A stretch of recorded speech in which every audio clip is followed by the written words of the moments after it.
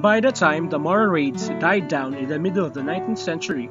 Chinese mestizos were in 21 of the 31 pueblos in Samar Island, and 61% of them were residing in Catbalogan. A look at the baptismal records in Catbalogan would show that native Catbaloganons intermarried with the mestizos de Sangleys, and their progenies would be the Cincos,